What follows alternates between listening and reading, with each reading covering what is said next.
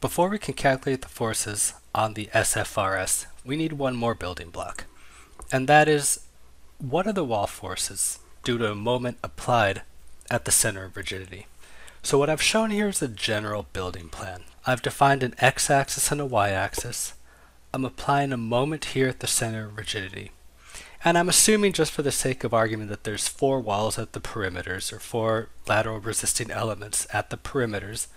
And you'll notice that the moment is applied counterclockwise and these four forces resist the moment in a clockwise direction. And so the basic question here is what is the magnitude of these forces and what is the direction? Well, the physical direction is given here. I'd like to also present an equation that can help you determine the direction directly from the algebra. Let's start working through that. The basic concept at play here is that moments are resisted proportionally to torsional rigidity, RD squared. Given the moment at the center of rigidity, the moment in any given lateral component is equal to that component's torsional rigidity divided by the total torsional rigidity. Now what we're actually interested in is the force in each component. So we'll divide this equation by d. We get this expression right here that tells us what the force is in each wall as a function of the moment at the center of mass and the wall's rigidity and the rigidity of the various walls. Now so far we've been dealing in absolute value. If you wanted the actual direction of the forces, you need to think physically, like I did at the beginning of this slide. But it is possible to come up with an algebraic expression where the direction of the force comes out naturally. And that's what we'll do right now. Looking once more at the forces and moment on the diagram shown, we'll notice that the counterclockwise moment is resisted by a positive force in the x direction times a positive distance in the y direction. It's also resisted by a force in the negative y direction times a positive distance in the x direction. You'll notice there's a little flipping of the signs here, and we can capture this in the following expression. This term s means the sign of the equation. This term is positive for a force in the x direction, and for a force in the y direction, it's negative. Let's look at one example for how this equation works out. We'll consider this force right here.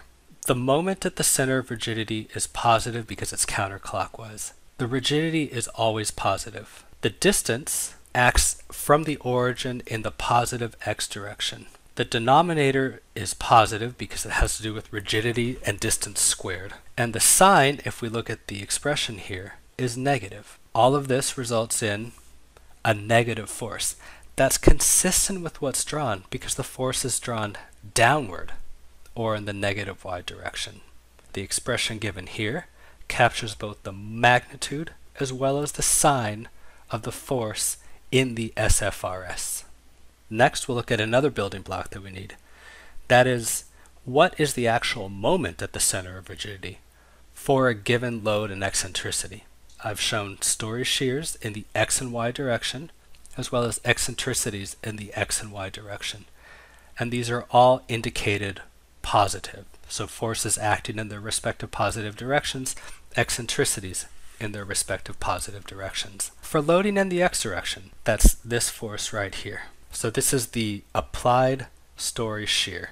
If the applied story shear is in the positive x direction, multiplied by an eccentricity in the positive y direction, this will result in a moment that acts clockwise, hence that negative sign right there.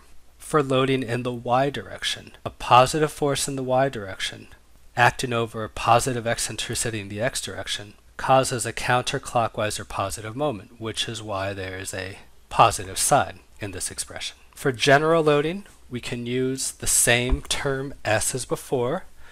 This is a positive number for a story shear in the x direction. It's a negative number for a story shear in the y direction. This is the resulting expression. Let's do just one example evaluating this expression. We'll consider shear acting in the y direction. So that would be this force acting over this moment arm. So if you look at the signs, there's the negative sign of the equation. The force is acting in the y direction, so the sign is negative. The shear is acting upward, that's the positive y direction, and the eccentricity is rightward, that's the positive x direction. So two negatives give us a resulting positive sign. Positive is counterclockwise, which is consistent with what's drawn there. We have two expressions. One, the one that we just saw, gives us the magnitude and direction of the moment at the center of rigidity, given a story shear, and the one that we saw previously gives us the magnitude and direction of the forces in the SFRS components given a moment at the center of rigidity. Next, we'll apply this concept to the actual example that we're working on. Here then is the diaphragm that we are considering. We have a moment at the center of rigidity, and this moment has to be resisted by the forces that I show here. You'll notice that the moment is acting in the counterclockwise direction, and about the center of rigidity, all of the forces that I've shown act in the clockwise direction. So each of the components of the SFRS in both directions will resist the applied moment at the center of rigidity.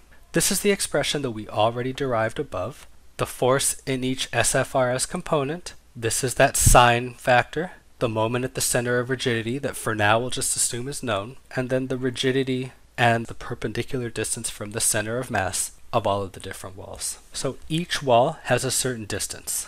Again, this is the perpendicular distance from the center of rigidity to the wall. For instance, wall A has a distance in the negative x direction, and that distance is 37.5. Another one might be walls 2 have distances in the positive y direction equal to 12.42. So you can see both the magnitude and the direction of d and how that's measured. The rigidities in this column we talked about previously. We calculate r times d, we calculate r times d squared, we sum r times d squared. We have a column here for the sign, and this sign is negative for a force in the y direction, and it's positive for a force in the x direction. So walls A, B, C, and D act in the y direction, carry a negative sign. Walls 1 and 2 act in the x direction, carry a positive sign. Calculate f by the equation above, divide it by the moment to get a relative idea, and then multiply it by 100 because the numbers are so small that this will allow us to see the numbers better. I've shown the magnitudes in the correct locations on the diagram. We can also look at the directions. So we'll start with walls A and B.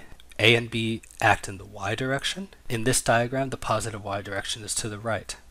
C and D act in the y direction. In this diagram, the negative y direction is to the left. Wall 1 acts in the x direction. Negative x in this diagram is upward. Walls 2AB and 2CD act in the positive x direction. In this diagram, that's downward. Once again, these directions are consistent with what was drawn, and we argued physically as to why that had to be the case. If these equations aren't helpful to you, don't use them you can always think physically about the problem. As a matter of fact, we should always think physically about the problem anyway. But it could help save you some time to also have the algebraic indication about the direction in which the wall forces go.